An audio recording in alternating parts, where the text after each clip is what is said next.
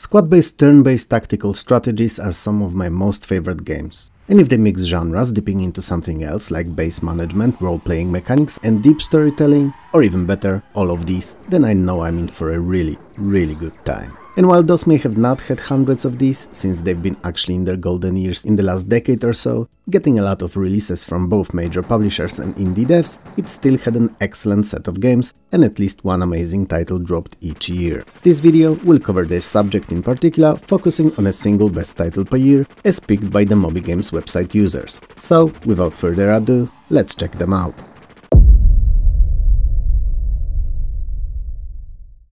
Breach is a turn-based tactical squad-based game in a futuristic space setting. It comes pre-built with 10 missions and you go through them with a squad of usually 5 space marines under a command of a team leader. And he is the only person on that team that gains experience and develops his stats after each mission completed. Mission objectives may vary considerably and they range from hostage rescue through crucial data retrieval to elimination of all opposing forces. You know, what your usual set of special forces missions would be. I mean, I'm guessing as I've never been in any kind of forces, but you have. You saved the universe, alone, leading teams and whole armies, so dealing with a simple hostage situation or some terrorists should not be an issue for you really. Now should it? All units move and act in turns using points-based action system, in which each action or a square of movement uses a certain portion of these. Most maps are multi-leveled and include outside terrain and buildings that can be numerous stories high. Additional weapons and support items like shields, medikits and scanners can be found throughout the map, picked up and used. Interestingly enough, only aforementioned team leader develops from mission to mission and the team for each encounter is brand new and assigned automatically to him.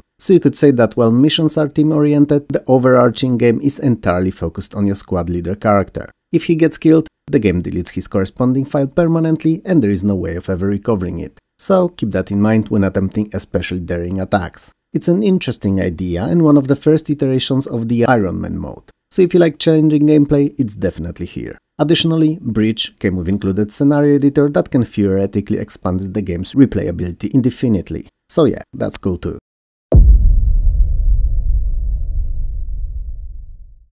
Well, first Breach was innovative, second was iterative, and I don't mean it in a bad way. It didn't reinvent the wheel, it just took what the first game did and made it bigger and better, polishing it to become more complete and enjoyable package. Same as previously, you start by picking up your squad leader and then the mission out of a dozen or so available ones. The game automatically assigns troops to the leader and then all of you are teleported to the mission location. The leader moves first and then all of his teammates, one by one in turn-based fashion. There are items to be found and equipped in the locations that you'll visit and they are very useful and helpful, stuff like gravity boots, laser shields or even grenades. You know, your typical armament of destruction, or used to avoid said destruction to happen to your squad. Missions are rather varied and have unique and interesting objectives, so you'll be rescuing an imprisoned commanding officer, crossing a river under enemy control, or trying to down an assassin that's actively hunting your team. You won't get bored with variety of tasks in Breach 2 is what I'm saying, and you'll be killing aliens left and right always in an interesting and very demanding setting. While Breach 2 may not be as difficult as UFO slash XCOM games are, it's not a walk in the park either, and will put your tactical skills to the test most throughout its run. Short of a few easier encounters, that is. All that said, the most important addition, aspect, if you will, of Breach 2 is the inclusion of a built-in mission editor, that not only extends the life of it exponentially, but also allows you to challenge your friends in your creations, crafting devilishly demanding challenges for them to beat. Interestingly enough, the developers of Omnitrend software made Breach 2 a part of their so-called IGS, Interlocking Game System,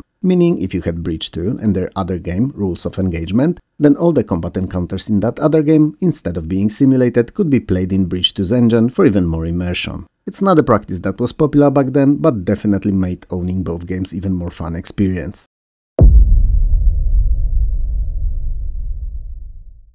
Hero Quest is a direct port of a real-life tabletop role-playing game of the same title, and as such follows all the rules of the original almost to the letter, from dungeons through all the enemies that you'll encounter to skills and combat. Spells and gear too are directly digitized from the analog source and thematically fitting. Heck, even the missions are identical to those found in the original. That said, maps are a bit different to those in tabletop games, so even former game masters could play the computer iteration and enjoy it. And Hero Quest, even if fantasy-themed, is still at its heart a squad-based tactical game with turn-based encounters. It looks and sounds great, and presentation-wise at least there's nothing to pick on here. That said, while Hero Quest is not a bad game in any way, there's just something missing here. Perhaps playing it alone was not intended by creators of the tabletop original, and I use perhaps here rhetorically, but having to go through similar adventures completely alone sitting in the dark and looking at rhythmically blinking computer screen is just not the same as playing a game with friends gathered around the table in somebody's kitchen. Also, the use of warning prompts is just terrible. Each and every action you take, be it movement, casting spells or attacks, require you to click on a tiny OK to confirm it, which becomes tedious fast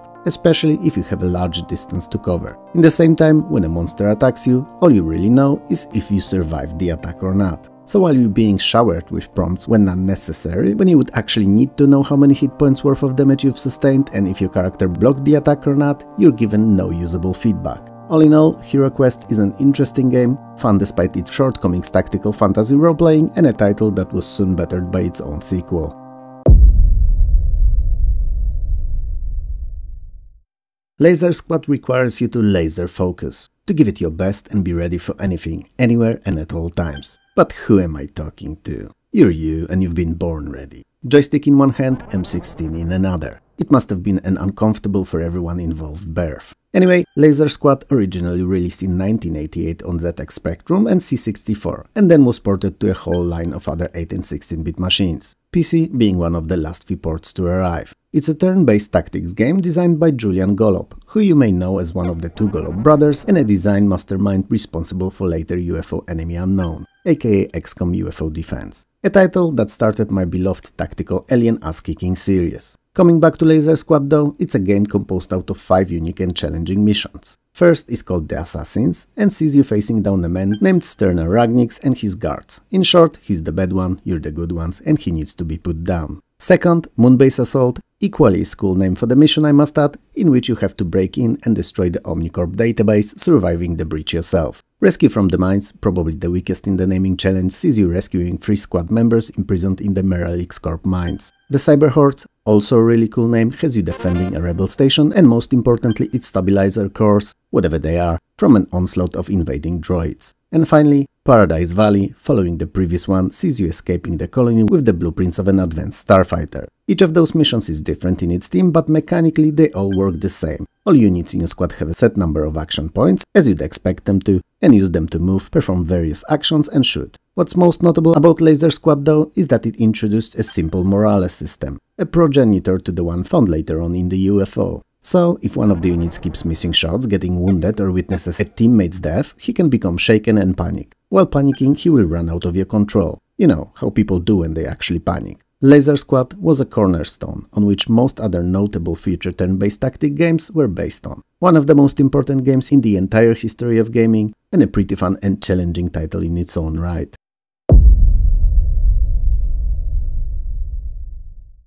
Strike Squad, like most other games on this list, is a mixture of strategy and role-playing with tactical turn-based squad combat. So, you know, what I like most in my games. It takes place in the distant future, when the universe is in large part explored and colonized, and you assume a role of mercenary commander. You have your own ship, it's not great but it's yours, and a crew that you can for the most part count on. Also, some starting cash. Not much of it, but enough to get you going. The big evil of the game are the insect-like Kakisitic, a warmongering race that destroyed your home planet, killing all your loved ones in the process, and by doing so establishing themselves as the villains of your adventure. So, your overall goal is to track them down and destroy them. But you can't just go and attack them willy-nilly hoping for the best and expecting the worst, because you neither know where they are nor are ready to do so. So you'll have to do a lot of planet hopping, talking to NPCs and finding necessary items and clues for the alien's location. In the same time, training your mercenaries in combat encounters so that they would be ready for the final showdown whenever it may come to be. For each planet that you visit, you pick a four-man away team, and they all differ in skills and weaponry that they have, so you must pick the best mixture for what you expect to find on the surface. Each mercenary also gets paid differently, so juggling their skills, weaponry and support cost is what you'll have to always have in the back of your head, not to go bankrupt, as that's an instant game over. Naturally, if you can spend money, there's gotta be a way to earn it too. And there is. You get it for completing certain mission objectives and for selling loot found after battles from fallen enemies. You only ever control one person from your 4-man team, with the rest following and being directed by the CPU. Controlled by the CPU in turn-based combat? What gives, you may wonder? Well, have no fear, the AI controls your teammates in real-time mode only, and you have a choice of both for combat, whichever you prefer. In turns, it's all you and you alone. So naturally, it's the option I gravitate towards when checking Strike Squad out. If all that sounded interesting to you at all, definitely check it out, it's worth it.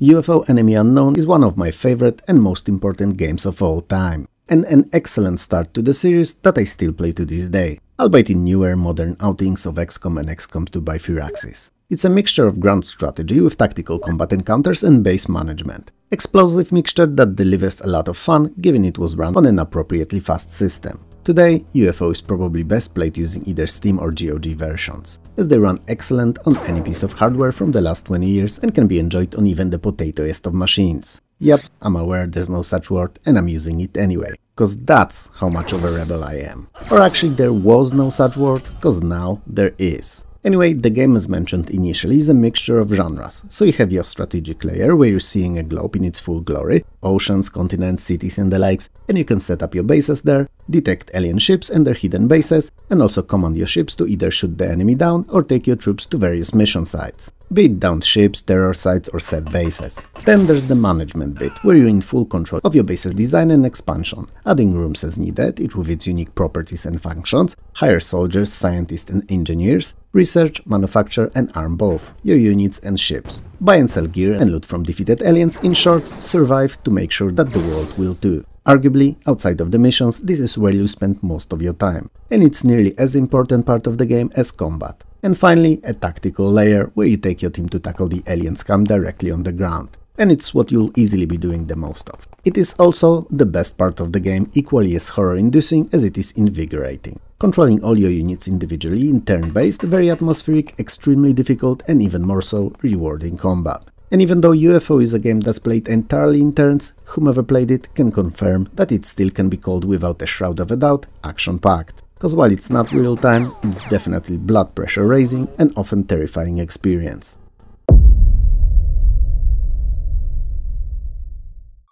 XCOM Terror from the Deep is a sequel to year prior's UFO Enemy Unknown and easily one of the best games of 1995, not only in its genre. It's a turn-based mix of global strategy, base management and tactical combat with some light role-playing elements. Oh, I think I failed to mention it just now when talking about UFO, that it too has some RPG mixed into it all. Anyway, Terror from the Deep takes place 40 years after the first game and assumes that the player managed to defeat the alien plague. Interesting assumption given that the UFO was unforgiving and you were nearly always one mistake away from losing your best squad and henceforth forfeiting the future of Earth. Still, in XCOM, in the recent years, alien sightings have resurfaced again and especially in the last few months became more and more common. These sightings, however, very quickly turned into activities, and the aliens now are even more destructive and dangerous than they ever were. This time, however, they are not coming from above, but from below, from depths of the oceans. Now, gameplay-wise, XCOM's literally no different at all to UFO. And good, cause there was nothing wrong with that one, and you don't fix what works. But if I'm to be honest, I wouldn't mind seeing presentation get a bump up to high-res SVGA. It didn't happen, but I suppose if you wanna pop out such a huge content-wise game and an excellent follow-up in a span of just a year, then even in the 90s some corners had to be cut and some assets reused.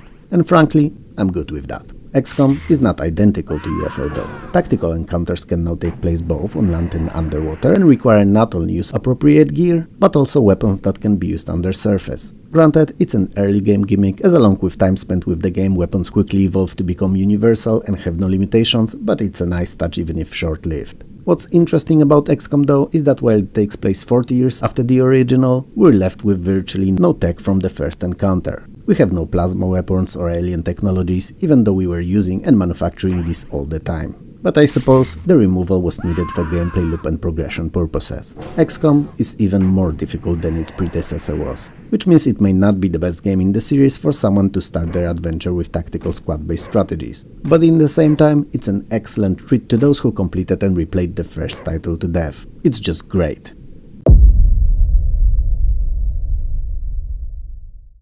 I'm sure that some of you have been grinding their teeth not seeing Jagged Alliance take the cake from 1995, but fear not. While Moby Games may have picked XCOM for the spot, in 1996 they turned into standalone expansion, arguably even better than the original Jagged Alliance was. Arguably, because while the first game took place on a single island and had an overarching plot to follow and work towards, Deadly Games is a set of linear mercenary missions where you lead your team through all of them, conquering more and more demanding challenges. Some may find the lack of a story and strategic layer lacking, but I didn't mind it as much, at least not back in the day. It's because Jagged Alliance's strategic layer was never as good as the one in the UFO or XCOM was, so not something I was heavily invested in, and frankly speaking, I found tree planting and guard recruitment rather tedious. I loved the combat though and had more than enough of it here. The other thing that was changed from the base game, and one that I actually did actively despised, was the turn limit, meaning each mission had a set number of turns to complete, so either had to play more aggressively than you would have otherwise, or treat them as tactical puzzles to solve,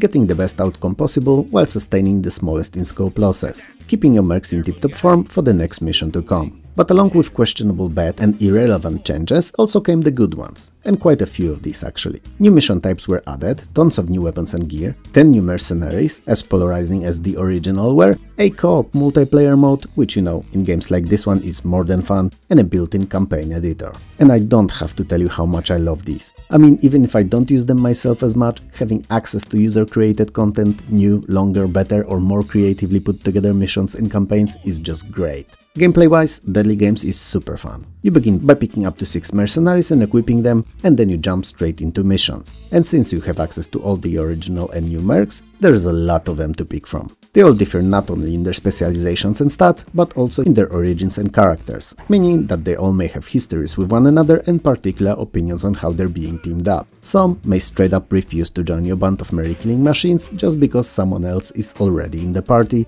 or on the flip side, work better because they're with someone they enjoyed the company of. It's mechanically a simple concept, but adds a lot to the atmosphere of running your merc squad and managing different characters and not just quote-unquote units on the map. And since we've somehow landed on the map, let's talk about combat. It's naturally turn-based, otherwise Deadly Games wouldn't have landed in this video, and it uses action points for all that you can do each turn. And as long as you have them, action points that is, you can take as many actions as you'd like, be it attacks, movement, stance change, picking up, dropping or using of objects, opening locked doors, containers and the likes, doing anything really. And each merc has their own set of these entirely dependent on his slash her stats. And these stats are not superficial either. Their health, agility, dexterity, wisdom, medicine, explosive mechanics and marksmanship, and they influence nearly everything in the game. Deadly Games may have dropped the overarching strategic background and focused on squad tactics, which many may have not liked, but personally I was fine with it, as I was never big on gardening and farmer training. Yeah, it's a job at main series entry.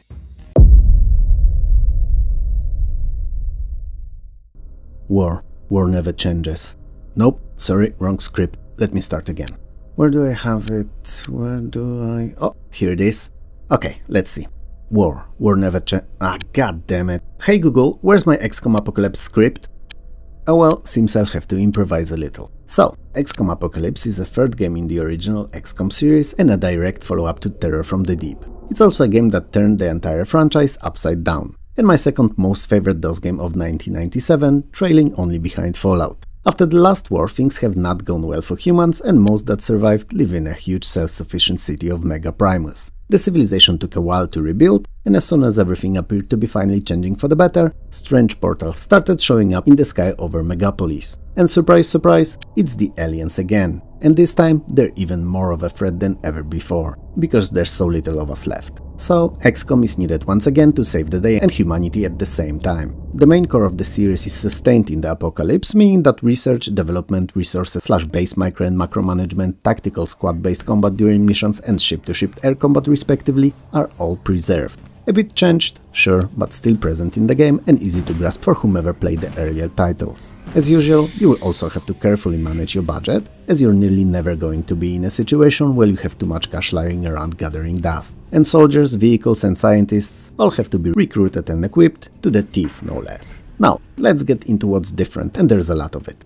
For starters, beautiful detailed SVGA graphics replaced older low-res tile-based 2D engine and this new presentation allows for much more to be seen at once, making those longer missions easier to manage without having to constantly scroll through huge combat maps. And since we're on the combat, it can be either turn-based or real-time. It's clear that the game was designed with this new real-time approach in mind, but even turn-based lovers such as myself will quickly learn to adapt and either use it or stick to tried and tested turns. I did, played it in turns that is, and didn't felt as if I was missing anything or being handicapped because of that. There are many more interesting maps in Apocalypse to fight with the aliens now too, so you'll be tackling outworldly threat in slums, corporate buildings and their headquarters, glass-encased farms, factories, apartment buildings and in the wreckages of downed UFOs to name a few. Most weapons, upgrades and vehicles are entirely new as well and a pleasure to manufacture and then use against the invaders. Many of the aliens are also different and some of them are really imaginative and clearly inspired by the Alien franchise of movies, which you know, fits the game's theme perfectly. The city of Megaprimus, while theoretically being just a location the game is set in, feels alive. It's run by the numerous megacorporations that are constantly at odds with each other, and it's them that you have to protect to secure the funding for your progress. Quite often interests of this will clash and directly opposing to one another and you'll need to make difficult choices along the campaign. It's just impossible to please everyone, the sooner you realize it, the better. And if you anger one of the corps enough, it may not only become your enemy and engage you in combat, but even join the alien side. Caution in XCOM should really be applied to any and all big or small day-to-day -day occurrences in the city. If you hire scientists, or purchase something, anything, all these have to be delivered to your base and don't just magically appear in it. So transports, as they are on their way, are susceptible to ambushes and attacks and have to be protected. At least if you know that you're at odds with someone or aliens are around. As much as Apocalypse never received as wide popularity and success as the two earlier games did, it was an amazing, even if underrated title, and all fans of originals, if they only give it a chance, will most definitely love it. It's a true sequel and not an add-on or a reskin that the Terror from the Deep to a certain degree was, and a good time for weeks on end. I promise. Well no, scratch that. Good time if you're good enough to answer the call that is, cause failing in XCOM is always an option too.